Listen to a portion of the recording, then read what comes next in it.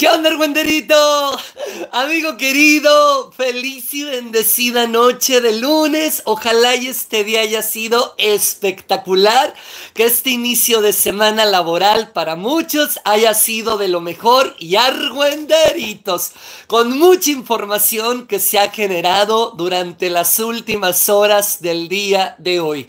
Gustavo Adolfo Infante en un verdadero problema aquí en México mientras él está de vacaciones. Su programa de segunda mano es grabado y con una situación complicada aquí en México, repito, y de manera especial con su televisora imagen. En un momentito más te voy a platicar eso y muchas cosas más. Oye, Argüenderito, si en este momento estás en vivo y en repetido, primero que nada, gracias por estar, por suscribirte al canal. Si no lo has hecho, por favor, Argüenderitos, pícale a suscribir, verifica y confirma tu suscripción y como siempre agradecerte por ese like para fortalecer esta transmisión. Dice por ejemplo Marías, hello Arwenderito, hola Marías. Dice Araceli, ¿por qué nos haces esperar tanto? Ay Araceli, déjame platicarte. Oigan Arwenderitos, no me reventé un granito y no me dejaba de sangrar, no sé si se me note, aquí tengo el papel porque ya ven que está parte de la cara es bien sangrona. Ahí estoy tratando de que no se me note. Ustedes si por ahí se me escurre una gotita, díganme para inmediatamente limpiarla porque si no nos van a cancelar el video. Eh, hola, salúdame. Eh, eh, Dael, aquí ando en el chisme. Nacho, te saludo, Nacho. Te saludo con mucho cariño, amigo. Gracias por estar. Eh, mi Vale, qué barbaridad. Vale, saludos, amiga linda. Dice Maru, hola, Argüenderito, por fin en vivo. Salúdame, Maru. Maru, bravo, te saludo y te agradezco por estar. Un abrazo fuerte para ti, para tu familia. Oigan, Argüenderitos, pues vamos a empezar. Y díganse ustedes que vamos a iniciar en la señal sin valor. Eh, yo les había comentado que esta semana Ventaneando iba a estar en vivo de lunes a viernes. Venga la alegría iba a estar en vivo lunes y martes y bueno, obviamente los noticieros con guardias o con suplentes, pues eso sí o sí siempre van en vivo. Pero fíjense ustedes que el día de hoy Linet Puente recibió una noticia que evidentemente no le gustó además de estar trabajando en Ventaneando, además de estar trabajando en ADN 40, además de estar trabajando en la redacción de espectáculos, pues de manera urgente, a partir de la próxima semana, va a tomar un curso, bueno, no uno, dos cursos intensivos de conducción. ¿Por qué? Bueno, Fíjense ustedes que Linet es un personaje, o por lo menos este fue el argumento que le dieron, que regularmente cae en situaciones repetitivas o en situaciones como pleonasmo. Es decir, a la hora que va a mandar una nota, dice, les voy a contar lo que me contaron. Ayer me dijo lo que les dije a ustedes. Déjenme platicarles lo que él me platicó. Entonces, con la intención, pues precisamente de tener una mayor capacidad a la hora de conducir, a la hora de poder de alguna manera eh, pues dar una nota, tanto un, un, antecedente como un remate, como se menciona en el argor televisivo, pues Linet Puente junto con otros reporteros de ADN 40 va a iniciar este curso la próxima semana. Obviamente a Linet no le gustó pues si ella es conductora titular, si ella ya está sentada en la sala más famosa de México, si ella es la encargada de distintos espacios noticiosos en cuanto a espectáculos hablamos, ¿cómo es posible que la vayan a mandar a un curso de conducción junto con otros reporteros? Hagan de cuenta lo que le pasó en su momento a Aurora Valle cuando trabajaba en el ojo del huracán. En el caso de Linet, pues ni hablar, se va a tener que aguantar. ¡Sas! Eh, Guadalupe, saludos desde Quintana Roo, saludos Guadalupe, un abrazo fuerte para ti, gracias por estar aquí, gracias Guadalupe. Dice, ay, gracias, eh, Dinia Durán. Gracias, amiga linda, cuando quieras. Oigan, argüenderitos, vamos ahora a cambiar de tema. Siguiendo en el ajusco, pero pasando de ventaneando, vámonos a Venga la Alegría. Miren, esto que sucedió el día de hoy ya se veía venir. La verdad es que se rumoraba desde el mes de febrero que sí o sí los conductores, pues literalmente los conductores iban a tener que ser vendedores. A ver, el día de hoy hubo una junta con los primeros cuatro conductores del matutino Venga la Alegría. De alguna manera los que no son titulares, es decir, Enrique Mayagoitia, Cristal Silva, Jimena Longoria y Tabata Jalil. Estos cuatro conductores fueron llamados a la oficina de Maru Silva, la productora, para sugerirles que terminando Semana Santa, pues se pongan a vender. ¿A qué se refiere? Bueno, el rumor que hay es que a partir del mes de mayo-junio, pues la televisora va a tener problemas para, para pagar los sueldos primero de estos cuatro conductores. Como sugerencia, la producción del programa pues les aconseja, por no decir los presiona, a que si conocen algún patrocinador, a que si conocen algún empresario dueño de algún producto, de alguna marca, de algún servicio, pues literalmente le lleven la propuesta de televisión azteca y específicamente de Venga la Tristeza, pues para que por lo menos firme con la televisora de la, Jusca, de la Jusco el resto del año, es decir, de mayo, junio a diciembre del 2024. Pero imagínense ustedes, argüenderitos, que los vendedores, pues ahora sí que independientemente de que hagan su mejor esfuerzo, no es fácil vender Venga la Alegría cuando tienen 200 mil, 250 mil televidentes por programa y la porquería de hoy tiene un millón mil. Es decir, ¿cómo compites ahora?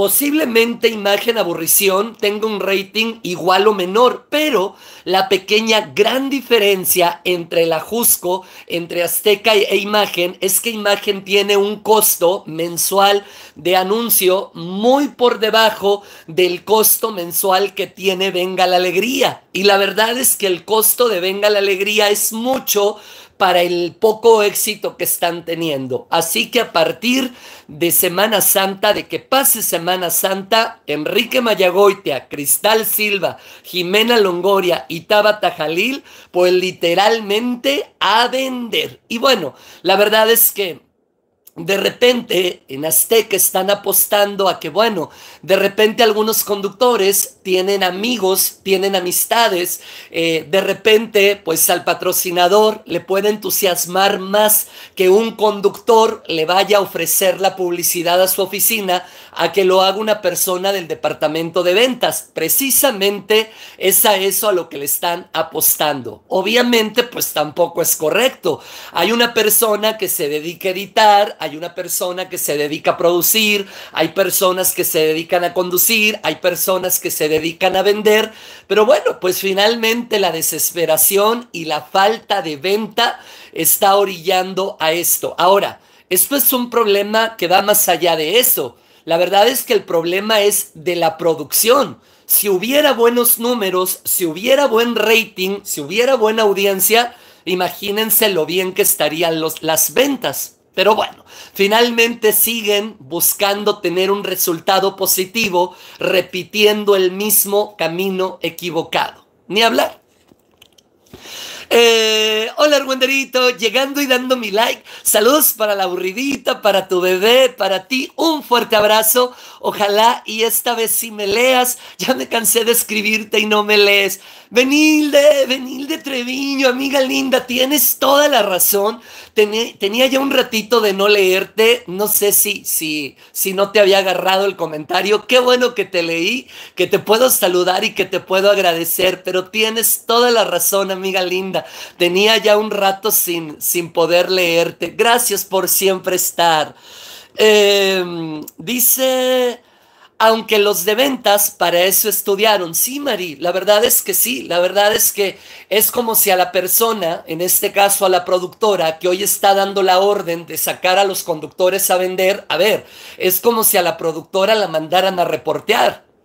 Obviamente no se trata de eso. Además, repito, el origen del problema no es que las gentes de ventas no tengan acceso a las marcas, no tengan acceso a los productos, no tengan acceso a los conglomerados. El acceso lo tienen, las audiencias los tienen, las citas se las dan. El problema, repito, es cómo compites con Televisa que tiene un millón doscientos o trescientos mil y Venga la Alegría tiene doscientos mil.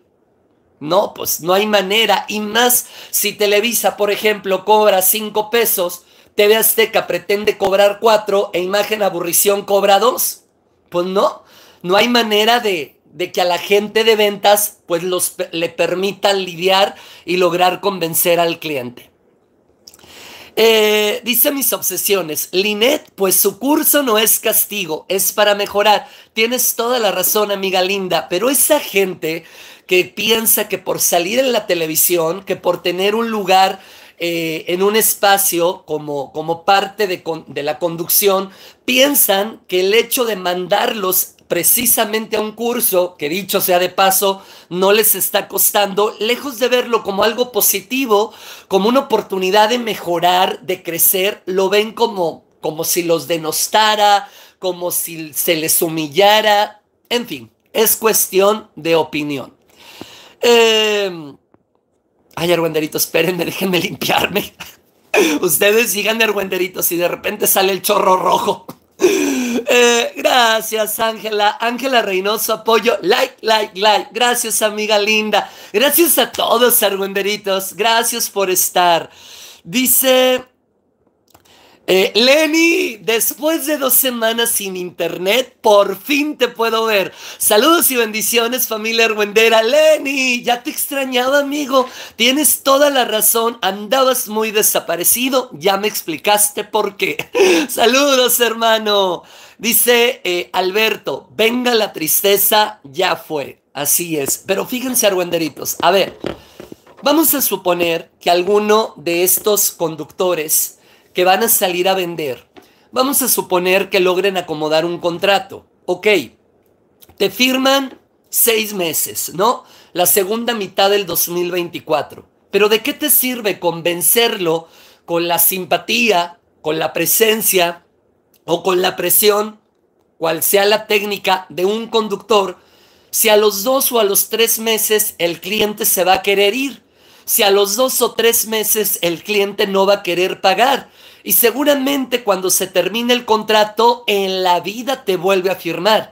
Yo creo que no se trata de eso. Repito, si realmente quieren un resultado diferente, tienen que hacer un proceso opuesto. Pero bueno, volvemos a lo mismo. Alberto Ciurana, Argüenderitos. Alberto Ciurana. Eh, Lupita, Argüenderito, siempre te veo en repetición. Al fin en vivo. Saludos desde Torreón, Coahuila. Lupita Salazar, qué bueno que estás en vivo, amiga linda, en esta noche de lunes, en esta noche de Semana Santa. Y, muchas personas, pues a punto de, de, descansar. Yo creo que la mayoría, ¿verdad, Argüenderitos? Les van a dar miércoles, jueves y viernes. Qué bueno que andas aquí, amiga linda. Dice Rosario, a venderse ha dicho, aunque se equivoquen como Pedrito Sola. saludos a él, saludos Rosario. Oigan, argüenderitos. Bueno, a ver, vamos ahora a un tema, argüenderitos, bien lamentable. Y como siempre, sus opiniones, sus comentarios, sus análisis, porque a ver, Posiblemente no podemos responder de temas de filosofía, de economía, de finanzas y otro tipo de situaciones más. Ah, pero si se trata de responder en cuanto a la vida privada de los demás, no, hombre, Juanderitos, nos pintamos solos. A ver, viene una situación bien polémica la que vamos a tocar eh, en torno a unas declaraciones que lejos de beneficiar, como se esperaba, están afectando y un montón. Eh, el día de hoy, Mariana Robles, la expareja de Nicandro Díaz, dio tres declaraciones. Una para Televisión Azteca, otra para Grupo Fórmula y otra para un medio de comunicación, un periódico, prensa escrita a nivel nacional. Pero fíjense, argüenderitos, cómo todo sigue estando mal, todo sigue estando sumamente raro. ¿Por qué? Fíjense ustedes. Qué raro que todas estas entrevistas Mariana las haya dado en medios que no tienen directamente que ver con la casa Televisa, con la empresa de Nicandro Díaz.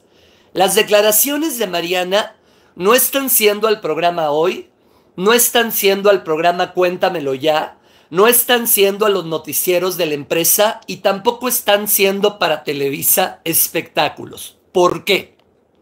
Es evidente que Televisa ya tomó partido. Es evidente que Televisa va a apoyar a la familia. Televisa va a estar a favor de la versión, de la decisión y de todas las declaraciones que seguramente pronto van a dar los hijos y seguramente la, la madre de los hijos de Nicandro. A ver, y yo no sé, porque nadie podemos saber cuánta cuánta mentira o no haya habido en las declaraciones de Mariana. Nadie lo podemos saber porque nadie estuvimos ahí. Lo que sí es muy peculiar que Mariana decida dar una declaración a tres medios de comunicación y entre sus declaraciones destacan. No me acuerdo de lo que pasó, tengo borrada la imagen, si me preguntas en este momento no me acuerdo ni del día, no me acuerdo cuándo fue el accidente, no estoy al 100 y no te puedo decir en qué día murió Nicandro. Es más, si me preguntas cuál fue el parte médico, en este momento no me acuerdo, lo desconozco. ¿Y para qué? A ver, yo no sé si la señora verdaderamente esté confundida, yo no sé si la señora esté en shock, puede ser, yo no sé si la señora sienta mucho dolor, puede ser. O también puede ser que no le convenga contestar por miedo a caer en un error. Pero, sea una cosa o sea la otra, ¿a qué vas ante una cámara? ¿Para qué te sientas en una cabina de radio? ¿Para qué vas a la redacción de un periódico? ¿Para qué te expones ante la cámara de televisión azteca? si no puedes, no quieres o no te acuerdas de lo que pasó. A ver, repito, si la señora está en shock, puede ser. Si la señora está enfrentando un problema en este momento de alguna conmoción cerebral, si de repente está teniendo especie de lagunas mentales medicadas, si, si la señora está viviendo su duelo puede ser, o la señora tenga miedo de hablar, también puede ser, pero sea una cosa, la otra o la otra, si no puedes hablar porque no puedes, porque no quieres o porque no te acuerdas, repito, ¿a qué vas ante una cámara de televisión? ¿Por qué te sientas en una cabina de radio y qué necesidad de irte a exponer en una redacción de un periódico? estamos creo que todos de acuerdo que no tiene sentido y que esto lejos de beneficiarla le está perjudicando, pero por donde lo veamos. Bueno, eh, estas declaraciones menciona que, que, bueno, que literal no, no se acuerda de nada. En las declaraciones que da en televisión, en radio y en prensa escrita caen varias contradicciones. Repito, no sé si estas contradicciones sean producto del dolor, del shock, de algún ansiolítico, incluso eh, en redes sociales los comentarios argüenderitos han sido demoledores. Han sido demoledores incluso en redes sociales le ponen que el tono de la voz, que la lentitud de las palabras, que incluso ella físicamente se parece a la madre de la pequeña Paulette. Ustedes seguramente se acuerdan de esta, de esta chiquita en medio de este escándalo que sacudió a México hace muchos años y que hace más o menos eh, en plena pandemia Netflix lanzó una, eh, una serie protagonizada por Regina Blandón. Y en redes sociales, eh, la señora Mariana físicamente es muy parecida a la madre de Paulette y las declaraciones y el tono de la voz y cómo está manejando la situación no le están ayudando nada. Imagínense ustedes que, repito, ella menciona, yo no sé de qué murió, no me acuerdo cómo murió, eh, no recuerdo qué día falleció, entonces los comentarios son, no se le cree, no se le ve el dolor, no está tan golpeada, ha dado distintas versiones, se contradice mucho, no se ve dolida. Eh, dice Silvia, Dael, comprende, necesita protagonismo. Pues, ¿qué te digo, argüenderitos? Dice Irma Ponce, argüenderito es dinero. Eh, dice... Eh, Dice Sildavia, pleito seguro cuando los hijos le pidan la casa donde vive. Pleito tipo Anaferro. Dice Norma, dice que solo se acuerda que está gritando por ayuda o algo así. Está extraño, está canijo. Dice Diana, muy raro. Dice eh, Mirluz, le creo que está en estado de shock. Ella dijo que la disculparan si hablaba lento, porque seguía con los síntomas, pero y entonces, exacto, si estás en estado de shock, si estás muy medicada, si estás literalmente con una situación de lagunas mentales o de tener muchos espacios negros, ¿a qué vas a medios de comunicación a dar una versión a contestar, no me acuerdo, no sé, se me olvidó, estoy en shock. Muy, muy lamentable. De verdad que, eh, repito, nadie sabemos qué pasó. Posiblemente fue un accidente, pero imagínense ustedes, el día de hoy, que literalmente ha pasado una semana de la muerte de Nicandro, que hay cuatro versiones completamente opuestas de lo que pasaron y el único testigo presencial, la persona que está con él, sale a declarar, no me acuerdo ni del día que murió, pues díganme, Argüenderito, si con toda razón los hijos no van a exigir que se haga una investigación. Eh, ay, María, María Elena, no sabe ni cómo se llama ella. Ay, argüenderitos. Dice Vale, se está haciendo la no me acuerdo de nada. Nada, ese es, nada, esa es su defensa. Dice Leticia, si en el accidente ella no se golpeó gran cosa, sí se acuerda, pero está dudosa su amnesia. Eh, no lo sé, Rick, no parece real, dice Norma. Dice Patty, pregunta, ¿cuál sería el interés de ella verlo muerto si solo era la novia? A menos que supiera que está en el testamento. Ahorita hablamos de eso, Patty, porque hay información. A ver, ahorita llegamos a la situación del testamento. Aquí vamos a tocar un punto importante. El fin de semana, un mensaje aparentemente de la hija, y ahorita vamos a hablar de la hija de Nicandro, menciona que aparentemente habría dos seguros millonarios y que estos seguros millonarios, Nicandro Díaz, los habría firmado o los habría contratado cuando estaba en relación con Mariana.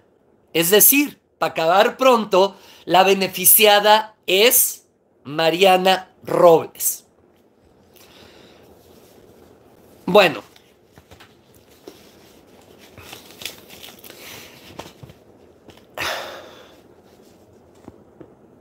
Dice eh, Lola, apenas hoy mostró un moretón en un ojo y mueve muy bien y mueve muy bien su cabeza con el collarín. Eh, dice Nika, hola Argüenderito, la verdad es que no le creo nada a Mariana. Debería quedarse en su casa y no ir a hacer el ridículo, no sabiendo nada de nada. Sí, Nika. Y fíjense, Argüenderitos, que les voy a dar ahora sí que mi opinión. Creo que Mariana está desesperada porque es evidente que hay un problema bastante serio. Ojo, yo no sé si, lo, si hay algo que investigar o en realidad fue un accidente. No lo sé. Lo que es evidente es que esta señora está desesperada, pero la desesperación le está ganando porque no se está asesorando legalmente, porque mediáticamente está quedando sumamente mal y porque todas estas declaraciones que la están lapidando en redes sociales y en medios de comunicación seguramente no le van a jugar a su favor en el problema legal que aparentemente ya inició. Los hijos de Nicandro, la madre de los hijos de Nicandro, callados, no contestan, no responden, en un hermetismo absoluto. Ahora, eh, Maxine Mutsai eh, habla, muestra un video que está siendo muy criticado en redes sociales. Incluso en algunas redes de Grupo Fórmula ya bajaron el video. Son tan solo unos segundos, pero Maxine Gutzai en sus redes sociales sale a exponer que Nicandro tenía muchos problemas con sus hijos, ¿ok? Que Nicandro se murió, dice Maxine, dolido, peleado y enojado con sus tres hijos, aparentemente porque los hijos estaban apoyando a la madre, aparentemente porque los hijos habían tomado partido y según Maxine Gutzai, la señora, la, la esposa, pues le estaba pidiendo mucho dinero, más de lo que le corresponde por ley. Ellos estaban casados por bienes bancomunados y bueno, pues obviamente los hijos pues obviamente, ruenderitos, se ponen del lado de la madre y más cuando el padre, estando casado, viviendo todavía en pareja, en la misma casa con la señora, pues el padre empezó una relación extramarital con Mariana Robles. Pues imagínense ustedes a quién iban a apoyar a los hijos, a la mamá o a la señora. Dice Norma, qué lamentable. Dice Diana, like, like, like. Sí, argüenderitos, ese like, ese like, argüenderitos. Eh, dice Janet, porque ya se asesoraron. Nada tonto. Sí, Janet, es, ellos están perfectamente asesorados. Dice Elizabeth, mi hermana tuvo un accidente en motocicleta, ella y su novio. Ella fue la que casi moría y él unos rasguños. Ella eh, e, ella por ir manejando y él, y el fallecido por tener consecuencias legales. Pues, ¿qué les digo? Y es que repito, a ver, vamos a suponer que todo lo que pasó así fue. Se atravesó un animal, que por cierto dice Mariana que no se acuerda que ella haya declarado eso, o sea, literal, no se acuerda de nada. Ella dice que no se termina de acordar en qué momento declaró que se había atravesado un animal. Pues imagínense ustedes cómo los hijos no van a tener dudas. Pero bueno, ok, se atravesó el animal. Nicandro por esquivarlo derrapó y el accidente y lamentablemente murió. Pero todas estas contradicciones, todos estos no me acuerdo, todas estas preguntas sin respuesta, no le están ayudando nada a la señora Robles. Ahora, continuando con Maxine Gutzai, ella menciona que Nicandro y sus hijos tenían problemas, que los hijos estaban del lado de la mamá, que él consideraba a los hijos malagradecidos, que tenían problemas con propiedades, eh, eh, que culpaban al padre del divorcio. Según Maxine, los hijos y la mujer, es decir, los hijos y la madre de los hijos de Nicandro, le querían quitar todo al productor de televisión. Eh, por otro lado, la hija de Nicandro subió un comunicado. Leo textual. No le crea nada a Mariana Robles. Bueno, con este mensaje de, María, de la hija de Nicandro en contra de Mariana, pues creo que podemos confirmar que efectivamente todo lo que una eh, persona le escribió en las redes sociales a Mariana la semana pasada y que se rumoraba que esta persona era la hija del productor de televisión, bueno, creo que con esta declaración queda comprobado y demostrado que efectivamente desde la semana pasada en redes sociales la hija del productor le ha escrito unas cosas argüenderitos de amante, de PUT no la baja, de ratera y de otras cosas todavía más graves. Es fuertísimo todo esto. Dice María Elena González, ¡Sas! Dice Leslie, si la señora hubiese muerto, no estarían así los hijos, tampoco están tranquilos con esos malas relaciones y ahora se sienten mal. Carla, hola Argüenderito, aquí puntual, ya dejé mi like, un fuerte abrazo, me encantas. Carla, saludos amiga linda, muy bendecido inicio de semana, gracias Carla por ese like. Oigan, argüenderitos, a la gente que batalla para dar el like, acuérdense que los tres puntitos, eh, en el programa repetido aquí, argüenderitos, aquí. Eh, saludos desde Chihuahua. Saludos, Sima. Saludos, Sima. Dice Gabriela Sánchez. Bueno, pues Maxine, ¿qué puede decir?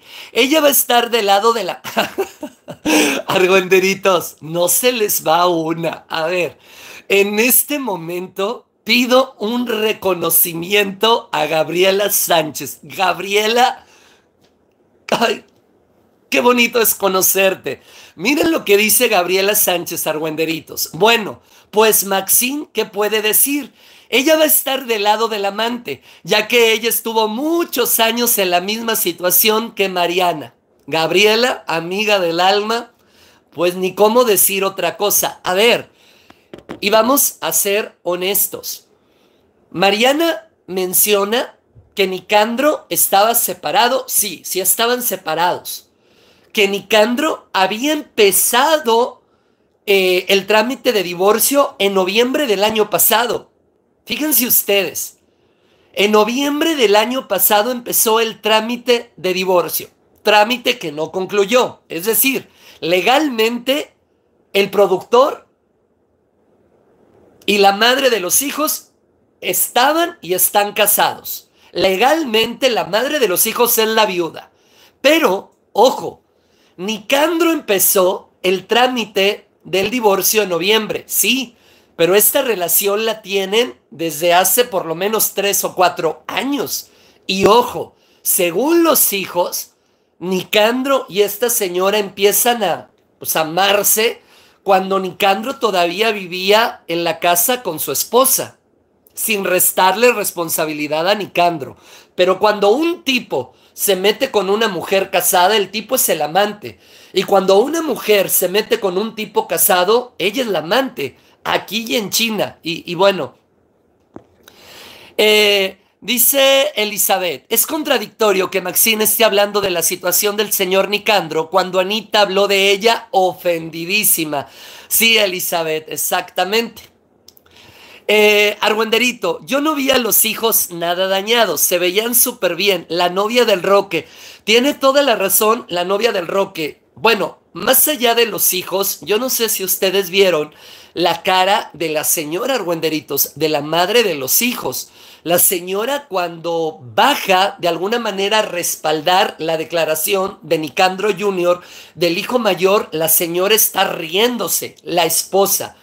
Posiblemente se está riendo porque no le cae el 20, posiblemente se está riendo porque está en estado de shock, posiblemente se está riendo de nervios, posiblemente pues ella sí expresa su dolor, pues será el sereno, diría la chimoltrufia, pero la señora se está riendo, todo está raro. Y a ver, siendo honestos, aquí se está hablando de mucho dinero, aquí se está hablando de propiedades, aquí se está hablando de un testamento que ya se leerá, aquí se está hablando también de aparentemente dos seguros de vida millonarios por los que Nicandro pagó muchísimo dinero sin imaginar que dos años después iba a morir. ¿Quién se va a imaginar eso? Eh, dice mi opinión cuenta. Saludos de él, aburridito y bebé. Dios te bendiga. Ya di mi like. Bendecida noche para todos. Triste lo del señor Nicandro Díaz y los hijos.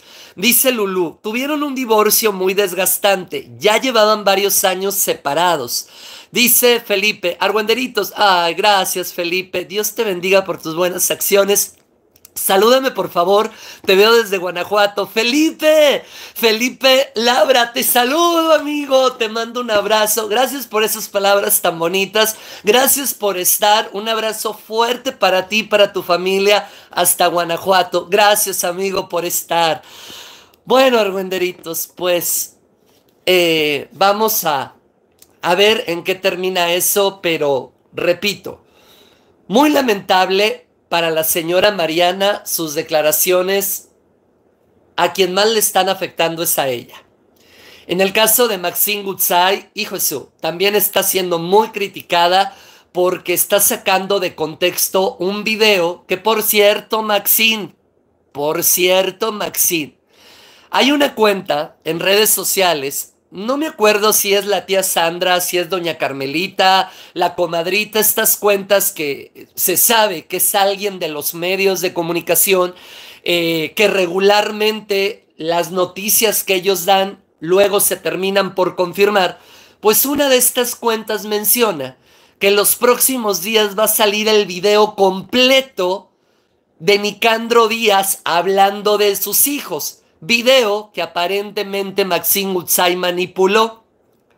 En fin. Pati, bendiciones, amiguito. Ayer te mandé un super chat y no te diste cuenta. Te quiero mucho, Pati. Amiga linda, un abrazo fuerte. Sabes que eres perfectamente correspondida en esta chismosa y mitotera familia. Un abrazo grande para ti, para tu familia, hasta tu casa y de manera especial al bonito Veracruz. Gracias, Pati, por siempre, por siempre estar. Eh, dice Lulú, Maxine, ya págale Anita. eh, oigan, herbuenderitos, vamos. Dice Elgi, Maxine, entre amantes se entiendan. Saludos, Elgi. Pues sí. Oigan, amigos, a ver. Esta semana, en imagen, los programas están grabados.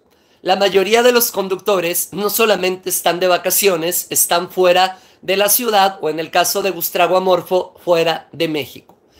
El día de hoy, por las instalaciones de imagen televisión, pues anduvo, anduvieron de visita parte del bufete de abogados de Guillermo Pous. Aparentemente estaban buscando a Gustavo, quien repito, no se encuentra en la ciudad, no fue hoy a laborar, pero sí aprovecharon para dejar un documento en las instalaciones de imagen televisión. Desconozco porque como no está Gustavo, pues no lo ha comentado. y entonces, pues, pues digamos que la información es reservada. Pero a ver, sin haber estado ahí y sin conocer el documento, pues creo que es lógico y hasta cierto punto evidente que pueda tener algo o mucho o todo que ver con el tema Laura Zapata. ¿Por qué? Laura Zapata y el Patas de Molcajete habían llegado a un acuerdo de palabra. Un acuerdo que Bustrago rompió. Uy, qué raro. ¿Dónde se habrá visto eso? Y entonces, este acuerdo lo buscó hace meses Guillermo Pous. Guillermo le habló a Gustavo y le dijo, a ver, Laura Zapata quiere iniciar acciones legales contra ti. Yo le estoy sugiriendo a Laura no llegar a tribunales. cuando es una situación que se puede arreglar por la vía pacífica sin llegar a lo legal.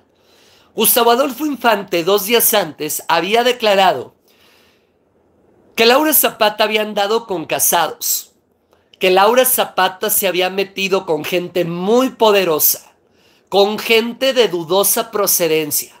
Gustavo Adolfo Infante mencionó que si él contara todo lo que sabe de la señora Zapata, a la mujer se le acababa la carrera y se le caían los contratos.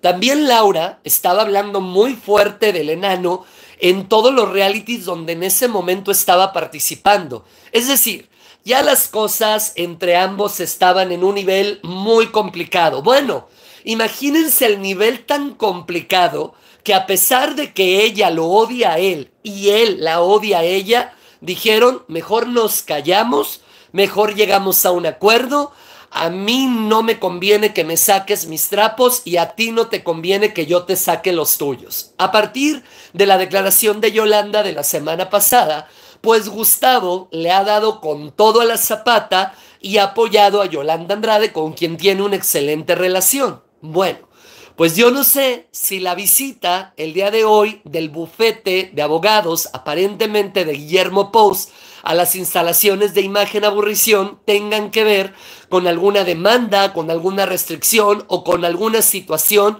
con el patas de molcajete. Vamos a esperar a que la próxima semana regrese. Ay, argüenderitos. Y luego dicen que en periodo vacacional no hay nada de qué hablar. Nombre argüenderitos, si pasa todo. Oigan amigos, pues ahora sí, ya me ando largando.